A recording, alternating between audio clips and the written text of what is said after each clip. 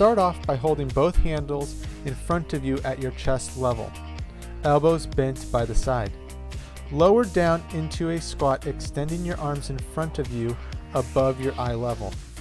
Push yourself back to start.